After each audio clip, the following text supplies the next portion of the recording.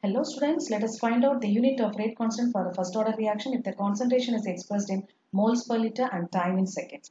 See first of all if you want to do this type of problems first you should know the general format to for, for the unit of rate constant and it goes like this mole 1 minus n liter n minus 1 and second minus 1. See here this n represents the order of the reaction. See here in this problem it's asked to find out the first order reaction unit or the rate constant of a first order reaction. So in the place of n you should substitute 1 okay.